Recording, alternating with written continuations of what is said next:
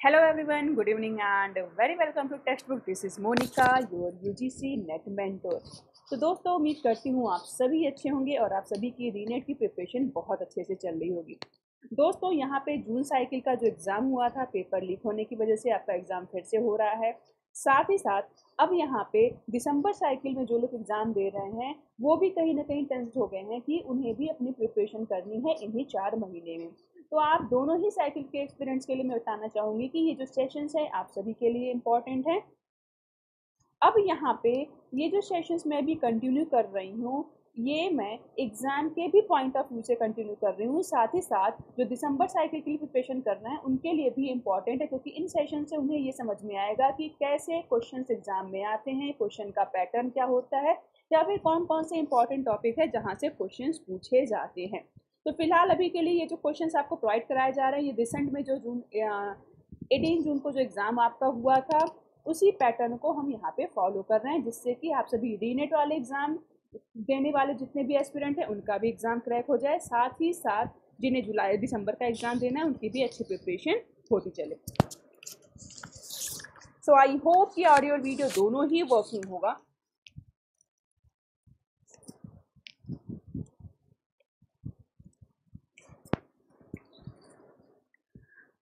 सो so, दोस्तों start करते हैं सेशन लेकिन उसके पहले आप सभी से बताना चाहूँगी कि यहाँ पे डेली 4 पीएम पे हम सेशंस लेते हैं जो कि फ्रीली अवेलेबल होता है। साथ ही साथ हमारा टेक्स्ट बुक का ऐप है इस पर भी हम डेली बेसिस पे सेशंस लेते हैं।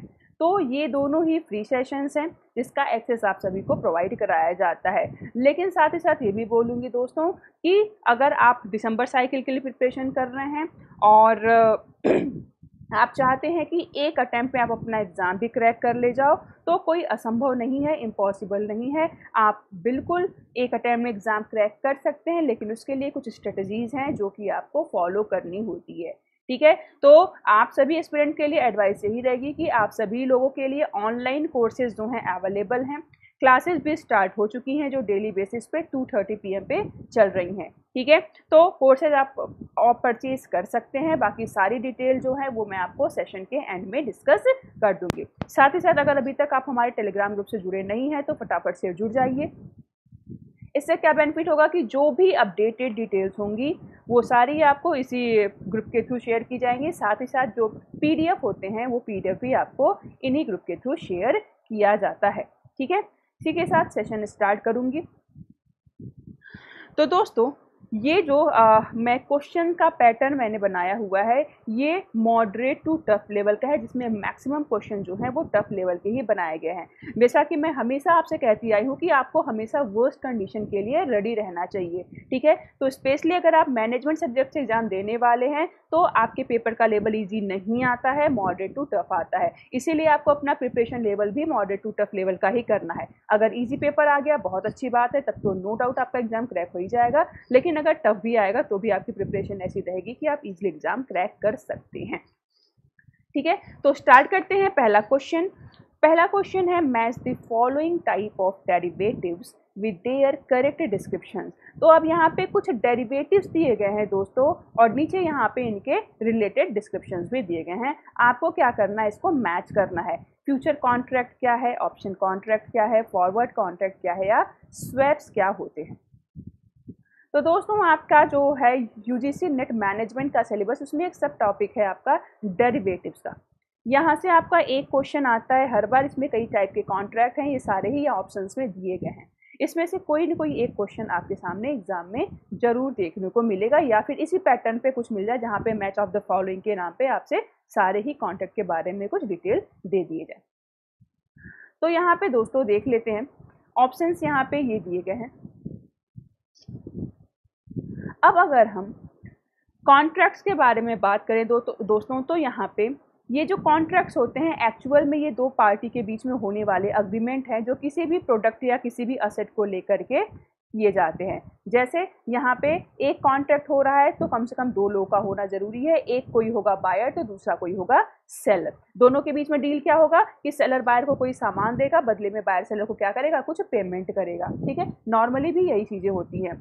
तो ये जो डेरिवेटिव प्रोडक्ट्स होते हैं, इनमें जब कॉन्ट्रैक्ट होता है तो कंडीशन ये होता है कि आज के डेट में दोनों पार्टी के बीच में एक डील हो जाती है कि हम ये प्रोडक्ट खरीदेंगे, ये असेट खरीदेंगे, कितने के खरीदेंगे, कितना वॉल्यूम उसका होगा। लेकिन एक्चुअल में उस असेट की जो डिलीवरी होती है ट्रांसफ़र होता है, वो किसी फ्यूचर डेट में होता है। तो ये जो होता है फ्यूचर कॉन्ट्रैक्ट एक स्टैंडर्डाइज्ड कॉन्ट्रैक्ट है। ऑप्शंस कॉन्ट्रैक्ट क्या है? यहाँ पे होल्डर्स को यानी बायर को कुछ अधिकार दे दिए जाते हैं। फॉरवर्ड कॉन्ट्रैक्ट जो होता है, ये कुछ कस्टमाइज्ड कॉन्ट्रैक्ट है और स्वैप होता है स्वैप का मतलब होता है एक्सचेंज ठीक है? दो इंटरेस्ट के बीच में एक्सचेंज दो करेंसी के बीच में एक्सचेंज कुछ ऐसा टर्म्स होता है। तो फ़िलहाल डिटेल में इसको भी हम इसका सेशन ज़रूर, बहुत जल्दी आपके लिए लेके आएँगे क्योंकि ये चारों ही कॉन्ट्रैक्ट जो है आपके लिए इंपॉर्टेंट हैं। सब में थोड़े थोड़े से डिफरेंसेस हैं जिनके बेसिस पे इन कॉन्ट्रैक्ट को आइडेंटिफाई किया जाता है। अगर आपका कॉन्सेप्ट क्लियर नहीं है तो आप इन चारों में हमेशा कंफ्यूज ही रहते हो, ठीक है? फ़िलहाल जैसा कि मैंने बोला, बहुत जल्द मैं इसको लेके एक डिटेल सेशन लाने वाली हूँ, जहाँ पे मैं इन चारों को डिटेल में आपको समझाऊँगी कि इनके बीच में डिफरेंसेस क्या होते हैं या फिर ये क्या होते हैं। तो यहाँ पे ओवरऑल पहला ऑप्शन जो है, ये करेक्ट हो जाएगा। फ्यूचर कॉन्ट्रैक्ट क्या हो जाएगा? एक स्टैंडर्डाइज्ड कॉन्ट्रैक्ट है। ठीक है? ऑप्शन कॉन्ट्रैक्ट क्या है? ऑप्शन नंबर डी हो जाएगा, जहाँ पे होल्डर को कुछ अधिकार मिलता है। फॉरवर्ड कॉन्ट्रैक्ट क्या है? फॉरवर्ड कॉन्ट्रैक्ट एक कस्टमाइज्ड कॉन्ट्रैक्ट है, जो दो पार्टी के बीच में होता है, और स्वैप में क्या होता है? एक एक्सचेंज होता है कैश फ्लोज का। चलिए नेक्स्ट क्वेश्चन देख लेते हैं।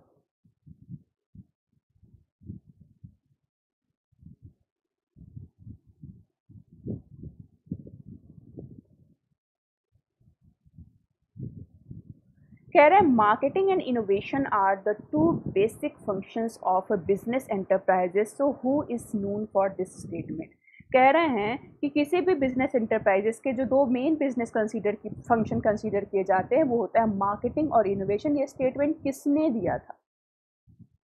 फिलिप कोटलर ने ड्रकर ने स्टेंटन ने या फिर हेनरी फ्यूल ने।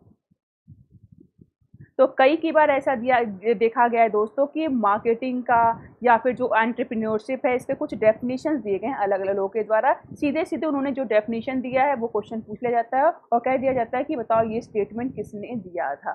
तो जो कुछ मेन इंपॉर्टेंट डेफिनेशन हैं, वो आपको पता होने चाहिए। यहाँ पे करेक्ट आंसर हो जाएगा option number B that is Peter F Drucker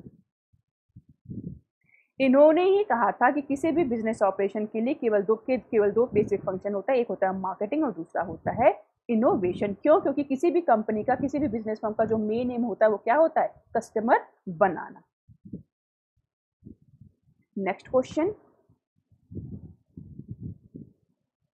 next question is which of the following regression model is appropriate for predicting a categorical item किसी भी कैटेगोरिकल आउटकम को प्रेडिक्ट करने के लिए कौन सा रिग्रेशन मॉडल अप्रोप्रिएट होता है? लीनियर लॉजिस्टिक पॉलिनोमियल या फिर एक्सपोनेंशियल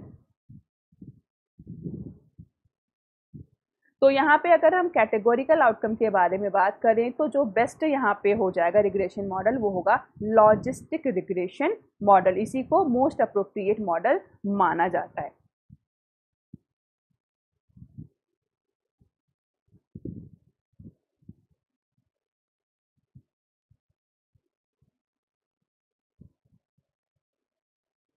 नेक्स्ट क्वेश्चन है।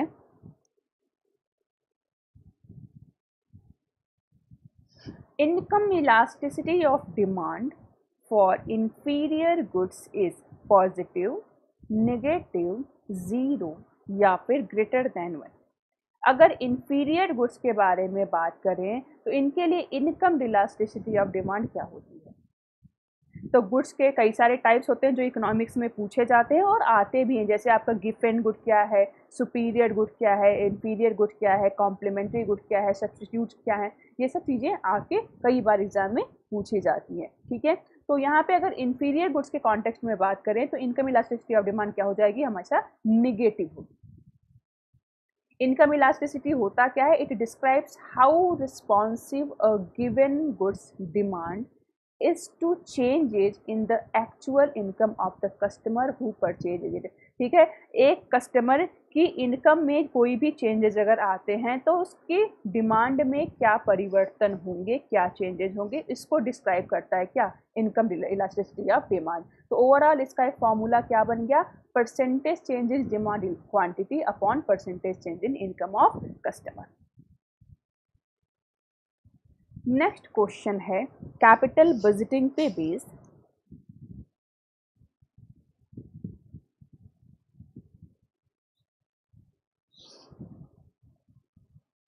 कह रहे if the capital budgeting decision generates constant cash flow each year then payback period is कह रहे हैं कि अगर कैपिटल बजटिंग डिसीज़न से हर साल एक कांस्टेंट रिटर्न जनरेट हो रहा है तो पे बैक पीरियड क्या होगा? यानी पे बैक पीरियड को कैसे कैलकुलेट करेंगे? पे बैक पीरियड एक्चुअल में दोस्तों होता क्या है? ये वो टाइम पीरियड होता है जहाँ पे कोई भी बिज़नेस फॉर्म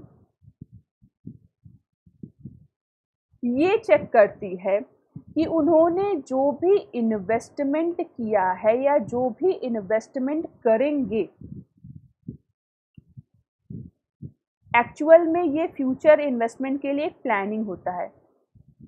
तो बिज़नेस फर्म ये देखती है कि आप कोई भी इन्वेस्टमेंट अगर करते हो तो ये अमाउंट कितने टाइम में रिकवर हो जाएगा। तो इसके लिए दो फैक्टर्स कंसीडर करते हैं। एक ये कि कितना इन्वेस्टमेंट हमने किया है और दूसरा ये देखते हैं कि हर साल हमें कितना कैश फ्लो यानी कि रिटर्न जनरेट हो रहा है। ठीक है? तो फॉर्मूला क्या हो जाएगा? Initial investment upon annual cash flow option number two जो है यहाँ पे हो जाएगा करेक्ट जो कि सीधा सीधा कंपनी को बता देगा कि आपने जितना इन्वेस्टमेंट किया है, उसको रिकवर करने में कितना टाइम लगेगा। नेक्स्ट अकाउंटिंग प्रिंसिपल का क्वेश्चन है।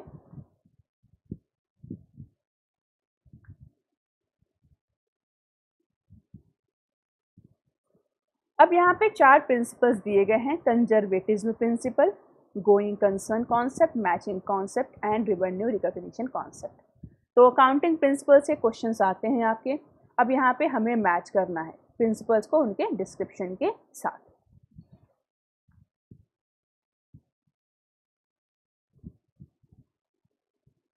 तो चलिए देख लेते हैं। पहले शॉर्ट में आपको बता देती हूँ इन प्रिंसिपल्स का मतलब क्या होता है।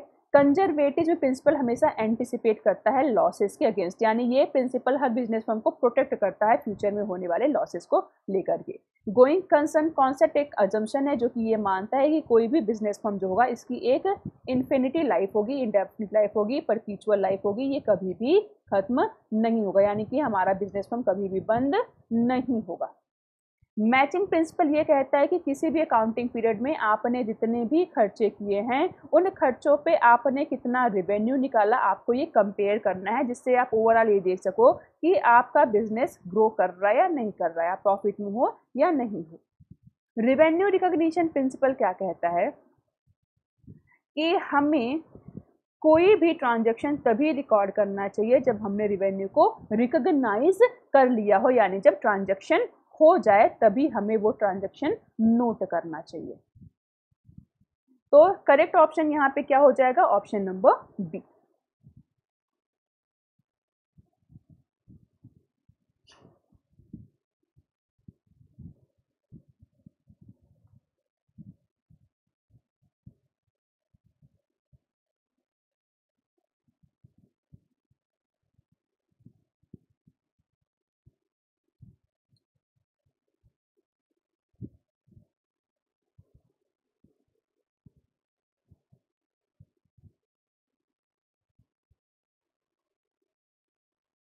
Next is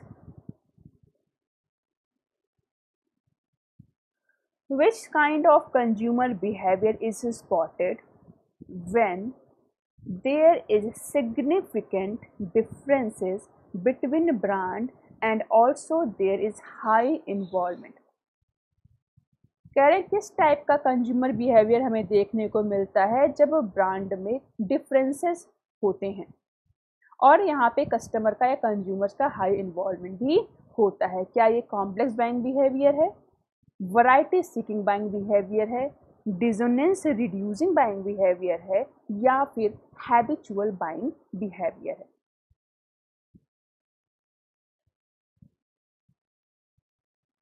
तो यहाँ पे अगर ब्रांड में सिग्निफिकेंट डिफरेंस देखने को मिलेंगे तो ये हमारा ऑप्शन नंबर वन हो जाएगा। That is a complex buying behaviour ठीक है? ये कब होता है? जब कस्टमर का या कंज्यूमर का इन्वॉल्वमेंट बहुत ज़्यादा होता है परचेजेस को लेकर के और ब्रांड के बीच में डिफरेंसेस भी बहुत ज़्यादा देखने को मिलते हैं। Next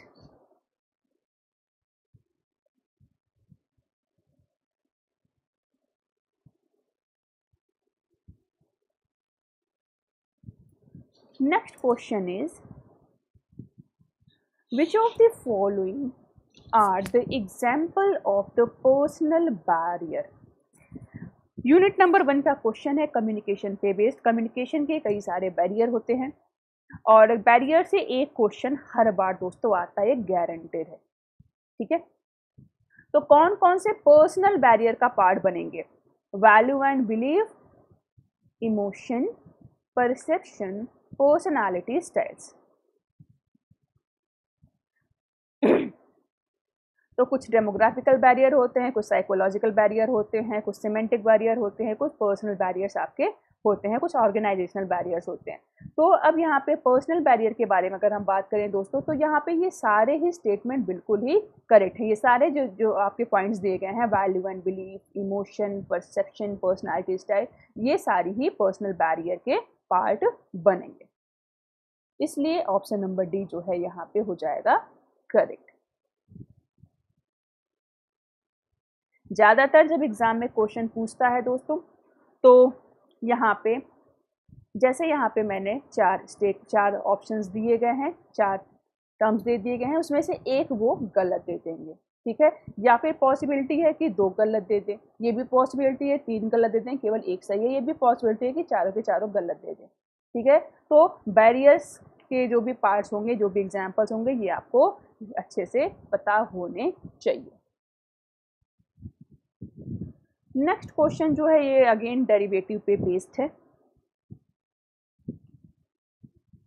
कह रहे हैं O T C derivative are traded directly between two party without going through an exchange क्या ये स्टेटमेंट सही है? OTC derivative contracts are highly standardized and thus easily transferable between parties. Customization of OTC derivative allow for specific risk management tailored to the need of parties. And last कह रहे OTC derivative typically carry higher counterparty risk. तो OTC derivative के बारे में यहाँ पे चार statement दिए गए हैं पहले कह रहे हैं कि क्या ये डायरेक्टली दो पार्टी के बीच में होने वाला एक कॉन्ट्रैक्ट है जहाँ पे एक्सचेंज के थ्रू कराने की कोई ज़रूरत नहीं है फिर दूसरा कह रहे हैं, ये हाईली स्टैंडर्डाइज कॉन्ट्रैक्ट है, इसलिए यहाँ पे इसे इजीली ट्रांसफ़र किया जा सकता है पार्टी के बीच में। तीसरा कह रहे हैं, इसमें कस्टमाइजेशन का ऑप्शन भी है, यानी जैसे पार्टी की नीड होगी, उस बेसिस पे इसको हम क्या कर सकते हैं कस्टमाइज कर सकते हैं इस कॉन्ट्रैक्ट को। और लास्ट कह रहे हैं कि यहाँ पे हायर काउंटर पार्टी रिस्क होता है। कौन कौन सा स्टेटमेंट है ये आइए देखते हैं। यहाँ पे दोस्तों, पहला स्टेटमेंट बिल्कुल सही है। कि इसको हम डायरेक्टली ट्रेड करते हैं। दूसरा स्टेटमेंट यहाँ पे फॉल्स है कि ये हाईली स्टैंडर्डाइज होता है। एक्चुअल में हाईली स्टैंडर्डाइज नहीं होता है। या तो कॉन्ट्रैक्ट स्टैंडर्डाइज होगा या तो कस्टमाइज होगा। दोनों एक साथ नहीं हो सकता। तो दूसरा स्टेटमेंट यहाँ पे हो जाएगा रॉन्ग तीसरा स्टेटमेंट सही था कि भाई यहाँ पे कस्टमाइजेशन का ऑप्शन है। पार्टी के नीड के बेसिस पे इसमें कस्टमाइजेशन हो सकता है चेंजेस हो सकते हैं। और लास्ट स्टेटमेंट भी बिल्कुल सही था कि ये higher counter party risk carry करता है। तो इस तरीके से यहाँ पे क्या हो जाएगा? ऑप्शन नंबर टू रॉन्ग है, उसके अलावा option one three and four correct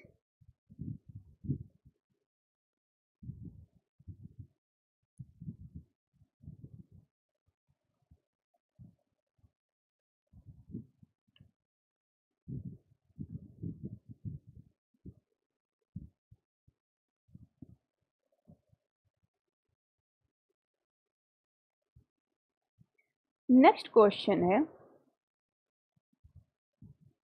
which of the following promotional tools is primarily use to generate immediate sales through short term incentive इसमें से कौन सा प्रमोशनल टूल प्राइमरली यूज़ किया जाता है इमीडिएट सेल जनरेट करने के लिए?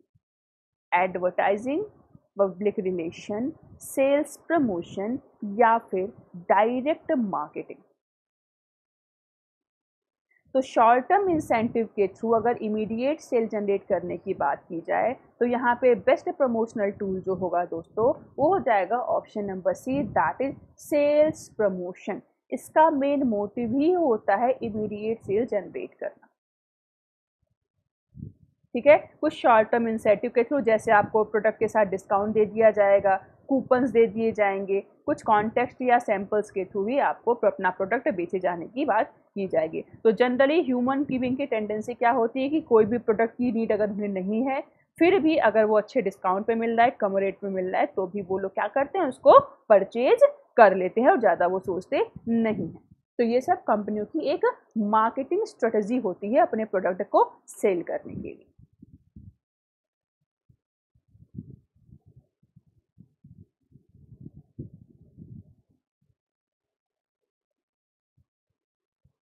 चलिए देख लेते हैं next question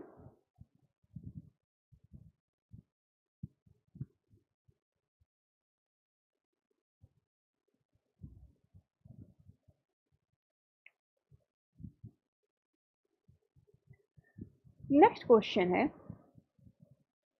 which of the following are the top strategies to implement when managing potential labour shortage कह रहे हैं किसी भी बिज़नेस फॉर्म के द्वारा किसी भी ऑर्गेनाइजेशन के द्वारा वो कौन सी स्ट्रेटजीज इम्प्लीमेंट की जाती है जब यहाँ पे लेब पोटेंशियल लेबर शॉर्टेजेस को फील किया जाता है या उसको मैनेज करना होता है engage employees by providing a safe and healthy environment employ training partner with the qualified staffing agency, maintain a viable employee referral program या hire temporary employees.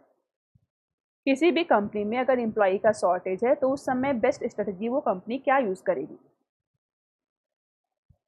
क्या वो अपने एम्प्लॉय को एक safe and healthy environment provide कराएगी? क्या वो अपने एम्प्लॉय को ट्रेनिंग देगी? या किसी दूसरे एजेंसी के साथ पार्टनरशिप कर लेगी? ठीक है? या फिर कोई इम्प्लॉय रिफरल प्रोग्राम मेंटेन करेगी? या फिर टेम्प्ररी बेसिस पे कॉन्ट्रैक्ट रूप से क्या करेगी? इम्प्लॉय को हायर कर लेगी। ऐसे क्वेश्चन जब आते हैं तो आप खुद सोचो कि आपकी कोई एक कंपनी है और आपके पास स्टाफ का शॉर्टेज हो गया है तो आप कैसे चीज़ों को मेंटेन करोगे या मैनेज करोगे? ठीक है? तो जब आप कोरिलेट करके आंसर्स देते हो तो चांसेस होते हैं आपके ऑप्शन उस समय करेक्ट हो जाएँगे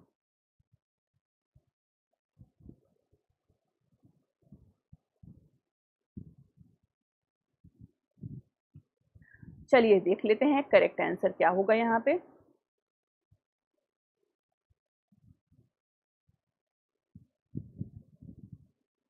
दोस्तों, यहाँ पे ऑप्शन नंबर सी जो है करेक्ट है। जब यहाँ पे मैनेज करना होता है पोटेंशियल लेबर शॉर्टेज तो उस केस में यहाँ पे उन्हें safe and healthy environment provide कराया जाता है। किसी एजेंसी के साथ हम पार्टनरशिप भी कर सकते हैं रेफरल प्रोग्राम भी मैनेज कर सकते हैं, ठीक है? टर्नओवर रिड्यूस करने के लिए अटैम्प्ट कर सकते हैं, अच्छे इंसेंटिव प्रोवाइड करा सकते हैं। उन टेम्प्रेरी एम्प्लॉय को हायर कर सकते हैं या आउटसोर्सिंग भी करते हैं। लेकिन एम्प्लॉय ट्रेनिंग जो है, ये कब, जो है, ये इसका पार्ट नहीं है। इसलिए यहाँ पे ऑप्शन नंबर सी सही हो जाएगा। यानी बी को छोड़ करके बाकी सारे ऑप्शन यहाँ पे करेक्ट है।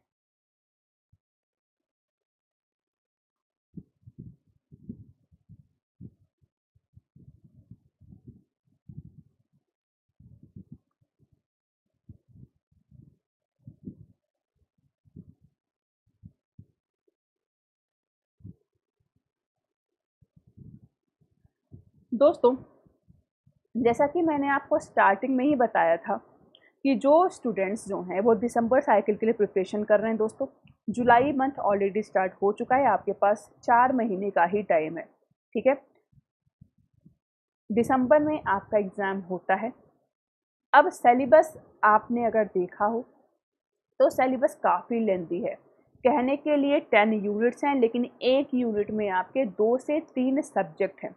आपने एमबीए अगर किया होगा तो आपने दो साल में एमबीए पूरा कंप्लीट किया होगा और आप यहाँ पे पूरा का पूरा एमबीए जो आपने दो साल में कंप्लीट किया, वही आपको वही सेम सिलेबस चार महीने में कंप्लीट करना है। ठीक है?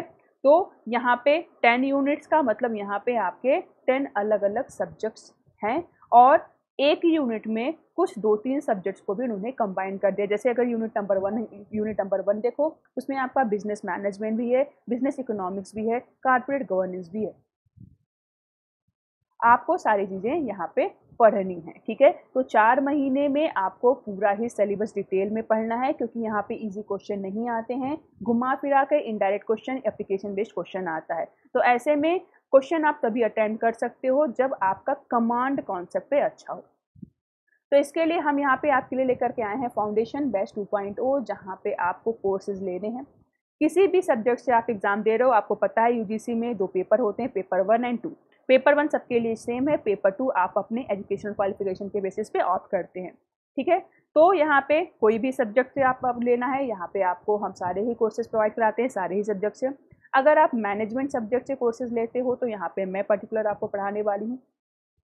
और कोर्सेज के यहाँ पे आपको बहुत सारे बेनिफिट मिलने वाले हैं। यानी एक, हम ये कह सकते हैं कि आप के लिए हम एक वन स्टॉप सोल्यूशन प्रोवाइड कराते हैं, अगर आप यू जी नेट के लिए प्रिपरेशन कर रहे हैं तो। तो यहाँ पे पेपर वन के लिए भी आपको गाइडेंस मिलने वाला है पेपर टू के लिए भी मिलने वाला है। पूरे कंटेंट को आपको बहुत ही सिंपल वे में आपको हम क्या करेंगे डिस्कस करेंगे आपके साथ, आपको शेयर करेंगे, आपको समझाएँगे। कुछ भी रटने की ज़रूरत नहीं है, हर चीज़ों को आपको डिटेल में समझना है। जो भी क्लासेज होंगी, उसका पीडीएफ आपको प्रोवाइड कराया जाएगा, जिससे कि आपके पास एक नोट्स हो। अनलिमिटेड मॉक टेस्ट यहाँ पे कराए जाते हैं, जो बिल्कुल एग्ज़ाम के पैटर्न पे होते हैं। साथ ही साथ यहाँ पे अनलिमिटेड प्रैक्टिस सेशन भी कराया जाता है, जिससे आपका कमांड जो है वो बनता रहे। तो आप खुद सोच सकते हो कि यहाँ पे आपको पूरा पका पकाया खाना मिल रहा है, बस आपको खाना है। और जैसा कि मैंने स्टार्टिंग में ही बोला था कि अगर आपने सही स्ट्रेटजीज फॉलो किया, जो भी आपको हम गाइड कर रहे हैं, जैसी गाइडलाइन बता रहे हैं सेम अगर आपने उन चीज़ों को फॉलो किया तो नो डाउट आप एक अटैम्प में एग्ज़ाम क्रैक कर सकते हो। हम बिल्कुल आपके साथ हैं, पूरी टेक्स्ट बुक की टीम आपके साथ है बट दोस्तों, आपको ही मेहनत करनी है। जैसा कि मैंने बोला कि हम आपको पका पकाया खाना दे सकते हैं बट खाना आपको है, ठीक है? तो ओवरऑल कोर्सेज स्टार्ट हो चुके हैं ट्वेंटी सिक्स ऑफ़ जून से एक बैच स्टार्ट ऑलरेडी हो चुका है। तो आप सभी लोग फटाफट से कोर्सेज ले लीजिए जिससे कि आपको कोई डिले ना हो। अच्छे तरीके से बिना कोई प्रेशर लिए अपना प्रिपरेशन आप कंटिन्यू कीजिए। कोई भी डाउट है तो आप, हम डेली आते हैं लाइव सेशन करते हैं, आप अपनी क्वेरीज को रेज कर सकते हैं। एडमिशन लेने के लिए आपको कांटेक्ट करना है इस नंबर पर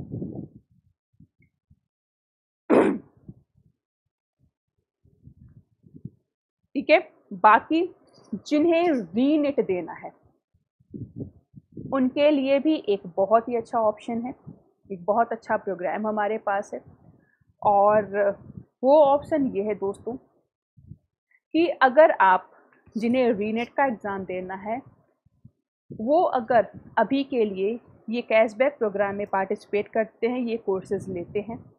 ये कोर्सेज का मतलब दिसंबर ट्वेंटी जो फाउंडेशन बैच के बारे में अभी मैंने डिस्कस किया, अगर ये बैचेस रीनेट एग्ज़ाम देने वाले एस्पिरेंट लेते हैं और अगर रीनेट का एग्ज़ाम वो क्रैक कर जाते हैं तो आपके पास ऑप्शन होता है, अगर आपका हाई मेरिट में गया, आप जे भी क्वालिफाई कर सकते हो और नेट भी क्वालिफाई कर सकते हो।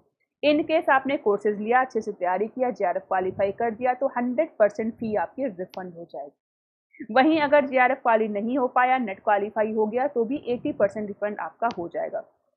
इस कोर्सेज को लाने का मेन मोटिव यही है कि आप सभी एस्पिरेंट जिन्हें डी नेट का एग्ज़ाम देना है, अभी दो महीने का टाइम आपके पास है। दो महीना भी सफिशियंट होता है, अगर आपका कमांड नहीं है कॉन्सेप्ट तो अभी भी टाइम है, इन समय को अच्छे से आप यूटिलाइज कर लेते हैं। बाकी अगर आपका जून का पेपर अच्छा गया था, आप कॉन्फिडेंट होंगे ही कि थोड़ा बहुत और प्रिपरेशन कर लोगे तो नेट होने का चांसेस था तो जीआरएफ आपका क्वालिफाई हो सकता है। या फिर जिनका अटैम्प खराब हो गया, उनको दोबारा मौका मिला है, जिससे कि आप जीआरएफ या नेट अपना क्वालिफाई कर लो, और फिर अगला अटैम्प्ट आपको देने की ज़रूरत ही ना पड़े।